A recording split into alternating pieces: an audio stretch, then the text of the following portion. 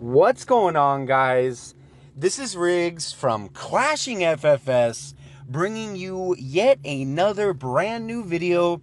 And what we're going to be showing you guys today is an arranged war, our first arranged war, week one of the CCL. What is the CCL? That stands for the Clash Cup League. Down in the description below, I'll have a video linked uh, to Adam's channel where you guys can check out exactly what uh, the CCL is all about. We're not going to explain it in this video.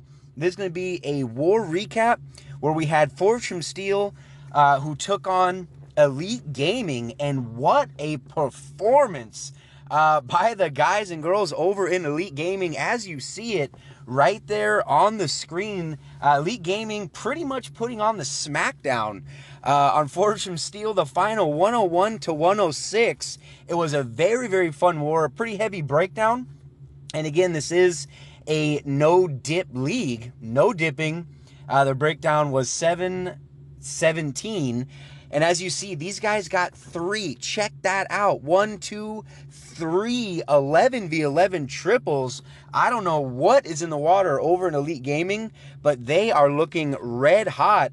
Uh, not to, whoops, uh, not to mention, these guys put up, what was it? Six 10 v 10 triples. Uh, they had a total of six. Uh, again, top to bottom, an amazing performance by Elite Gaming, not to mention that their Town Hall 9s hit at over 70%. Scouted all of our Town Hall 10s. A majority of those were for two stars as well, which did help them nail down these 10v10s. And like I said, their Town Hall 9s absolutely brought it as we pan down on the map. Uh, but yeah, hands down, big shout out to everybody over in Elite Gaming.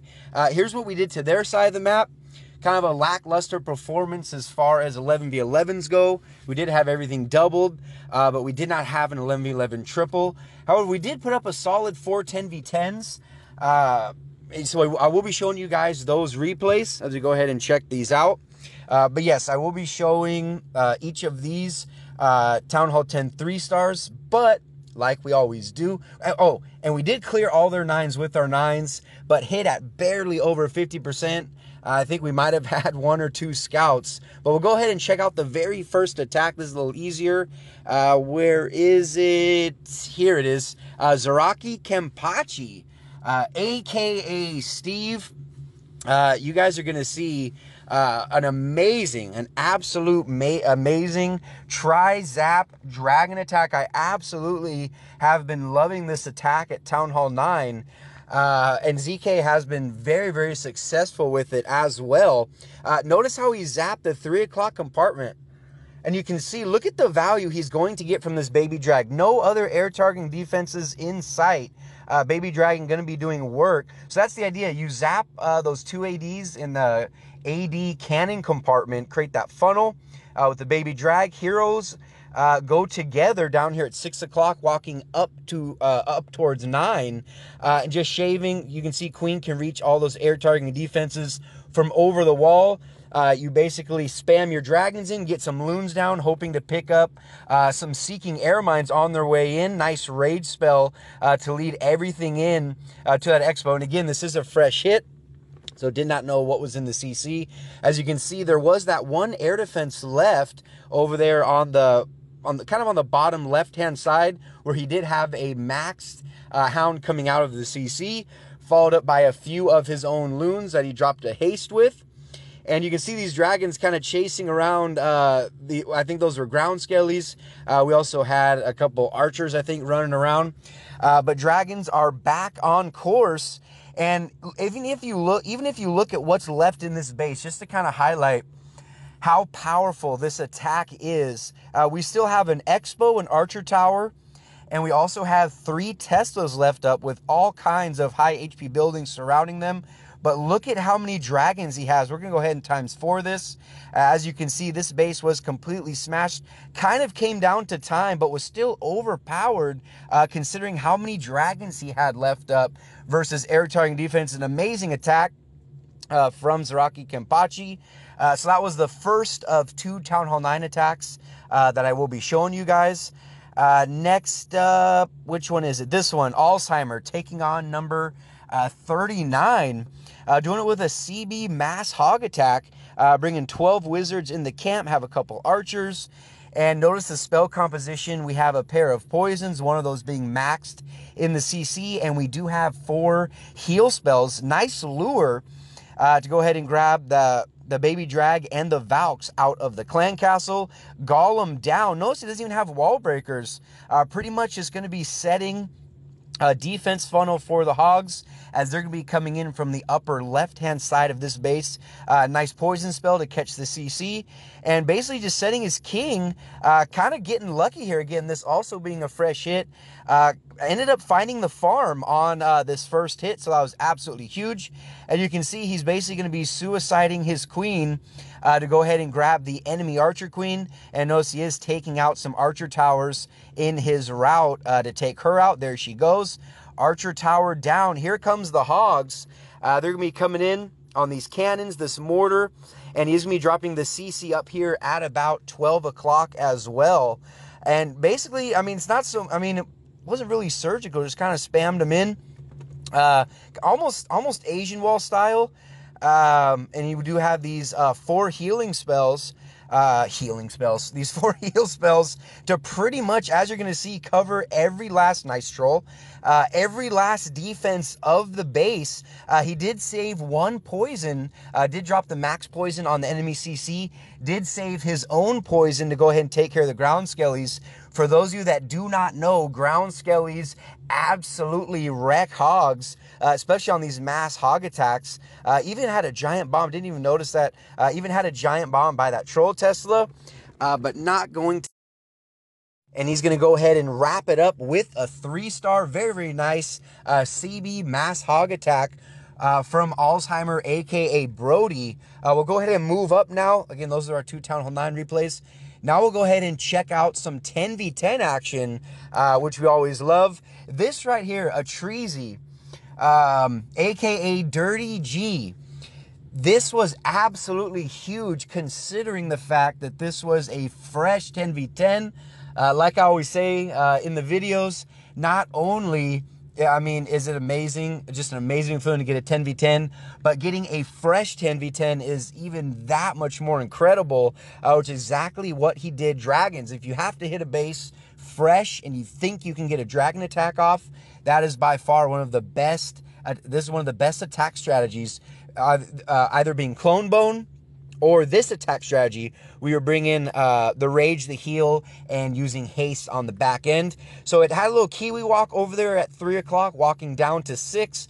Archer Queen up at 12, uh, where he's going to go ahead and get uh, some of this trash out of the way, set the funnel for the Dragons, and to take out this air defense. Even gets a bonus Tesla as well. So very, very good value on that uh, when he suicided his Queen up there at 12 o'clock did drop two rage and a heal, trying to heal up those dragons uh, before they have to take on uh, the two Inferno towers as they are taking some damage as they're coming into this core. Here comes the max hound out of the CC, and notice he does not have a clone spell.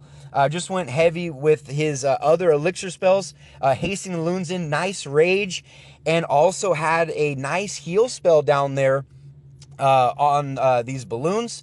And you'll see he did haste in about four to five loons over at nine o'clock. Uh, there was a pretty easily reach air defense right there from over the wall. And as you guys can see, still has a whole bunch of loons up, still have some uh, dragons left uh, up as well. Uh, very, very nicely done. And this was done pretty early on into war. An absolutely beautiful attack uh, from a Treasy, aka Dirty G. And here we're going to go ahead and check out our next 10v10 triple from none other than Jacob. An absolutely uh, gorgeous, well, kind of towards the end, it got kind of shaky, uh, but absolutely gorgeous uh, Sui Hero Lalo, King and Baby Dragon on the dark, uh, what is that thing called? The Dark Elixir storage. They're to be walking down, and notice he is to get amazing value on this. Uh, this base was hit a couple times.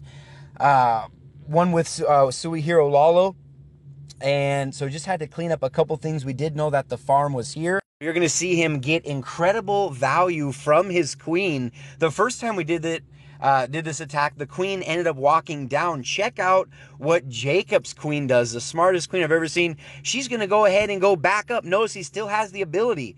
where she's going to be able to we, uh, uh, reach that Wizard Tower and that Archer Tower right there. A huge uh, huge value uh, for this uh, Sui Hero Lalo. Goes ahead and drops down his two camp hounds, followed up by a whole wad of loons as they're going to be heading in uh, to this first air defense, followed up by the Expo and the Inferno Tower. And notice he does have a couple skeleton spells that he's dropping inside of the Rage, not only helping the loons, but helping those skellies take down the enemy Archer Queen. Notice that cannon right there ends up dying. Uh, if he dropped a couple loons, you're going to see his loons kind of take a nasty path out to that cannon. There they go.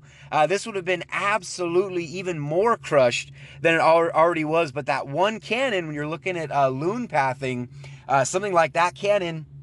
Uh, can be devastating. Jacob ends up rebounding very, very nicely. He is all out of spells, but when you look at what's left, all he has is that cannon and that air defense beating on his pups, but that is way too many loons uh, for that Inferno Tower to, to take out, uh, to, to take out and ends up one-shotting it, just uh, clean up left.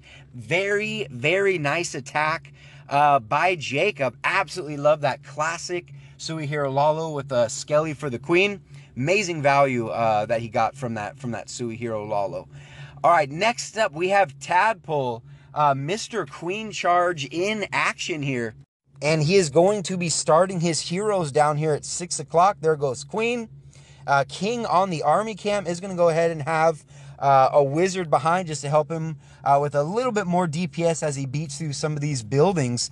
And notice that he waited to drop his healers uh, until the archer queen started taking damage. Last thing you want is for your queen to be full health. You drop your healers and they head straight for the king. So very, very nice patience there.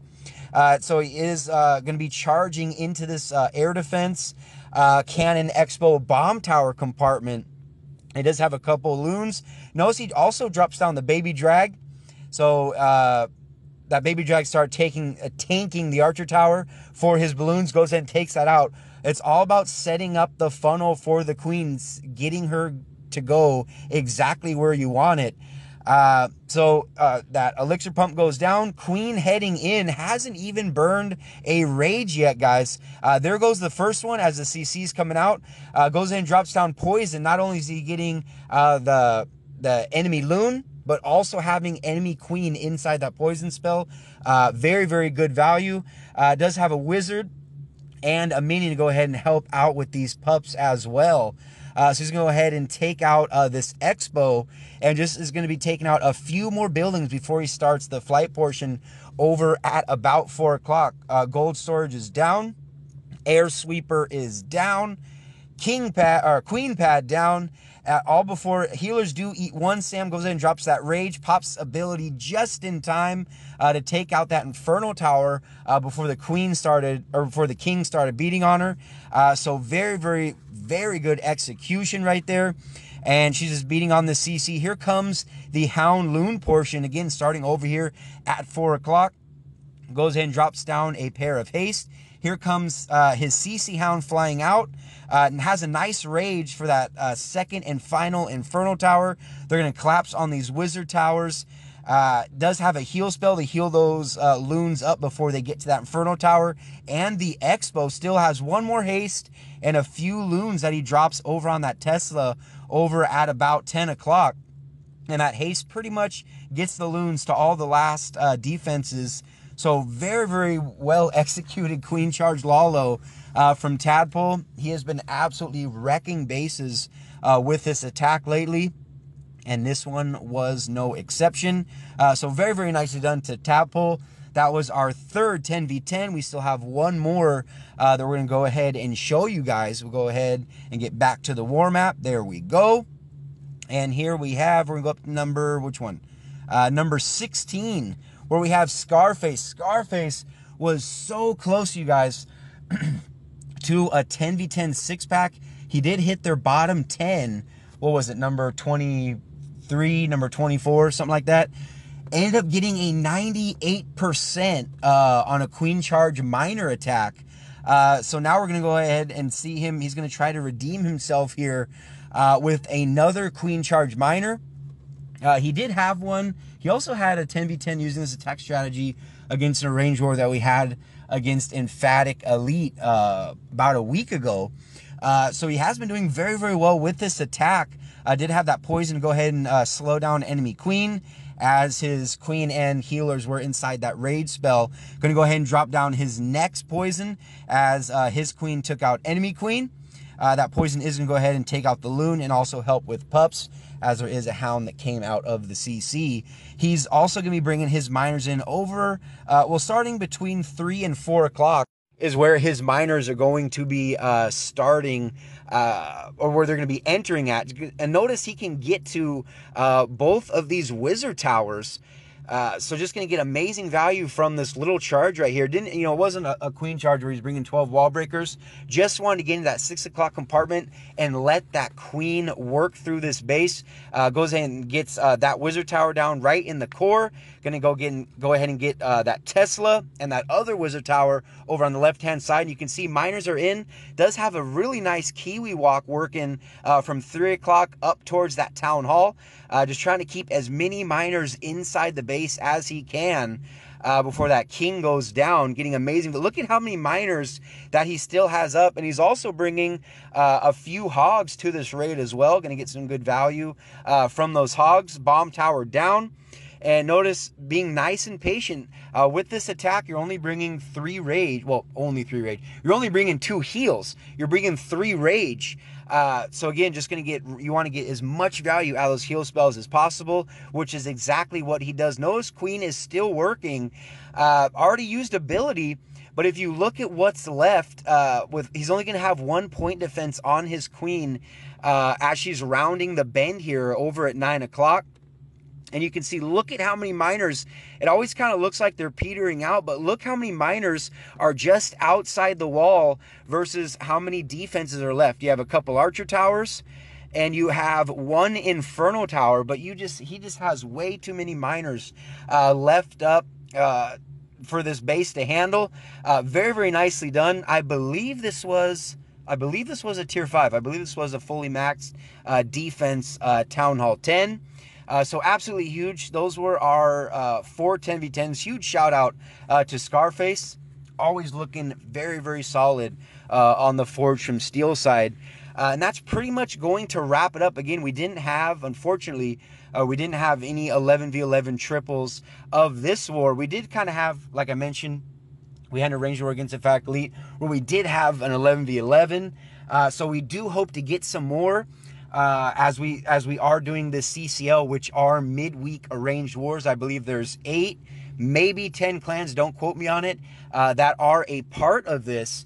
Uh, so it is a unique opportunity. You know, we're going to take advantage of it as much as we can. Midweek arranged wars with some awesome, awesome clans. Stay tuned to the channel for more coverage on the CCL, uh, which is the Clash Cup League. And I, of course, I hope you guys enjoy the video and the attacks featured in the video.